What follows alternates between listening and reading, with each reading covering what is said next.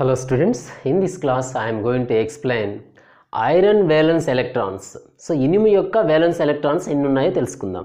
So iron దాని యొక్క atomic number ఎంతనన్నా ఇరవై ఆరు. దాని యొక్క సింబల్ ఏంటి? ఎఫ్ఈ సో ఇది ఒక డీ బ్లాక్ ఎలిమెంట్ ఇది ఒక ట్రాన్స్లేషన్ మెటల్ పరివర్తన మూలకం. సో దీని యొక్క కాన్ఫిగరేషన్ ఏమైనా ఉంటుంది? One s two two s two two p six three s two three p six four s two and three d six Uh, this is first shell this is second shell this is third shell so up to one s two two s two two p six three s two three p six వరకు ఉన్నటువంటి configuration ఏమంటాం నాన్న core configuration ఇది ఒక argon configuration అంతవరకు eighteen electrons సరిపోతాయి.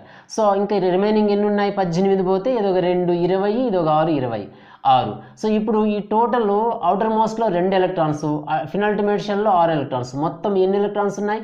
ఎనిమిది electrons valence ఎలక్ట్రాన్స్గా ఉన్నాయి. సో కాబట్టి ఐరన్ యొక్క వేలెన్స్ ఎలక్ట్రాన్స్ ఎన్ని అంటే ఎనిమిది. మిగిలిన పద్దెనిమిది ఏమైనాయి అంటే ఆ పద్దెనిమిది కోర్ కాన్ఫిగరేషన్లో ఉన్నాయి. ఈ కోర్ కాన్ఫిగరేషన్లో ఉన్నటువంటి ఎలక్ట్రాన్స్ ఏవి కూడా రసాయన చర్యల్లో పాల్గొనవు. ఇది ప్రతి ఒక్క ఎలిమెంట్కు ఉంటుంది. కోర్ కాన్ఫిగరేషన్లో ఉన్నటువంటి ఎలక్ట్రాన్స్ ఎలాంటి కెమికల్ బాండ్లో పాల్గొనవు.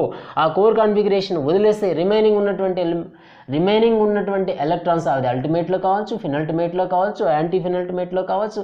ఈ ఏ షెల్లులో అయినా ఆ కోర్ కాన్ఫిగరేషన్ వదిలేస్తే మిగిలినటువంటి ఎలక్ట్రాన్స్ రసాయన చర్యల్లో పాల్గొంటూ ఉంటాయి. సో కాబట్టి ఎఫ్ఈకి వచ్చేటప్పటికి కోర్ కాన్ఫిగరేషన్ మినహాయిస్తే మిగిలినవి అదే షెల్లులో ఆరు ఉన్నాయి అవుటర్ షెల్లో వచ్చి రెండు ఉన్నాయి. మొత్తము ఎయిట్ ఎలక్ట్రాన్స్ వేలెన్స్ ఎలక్ట్రాన్స్గా ఉంటాయి.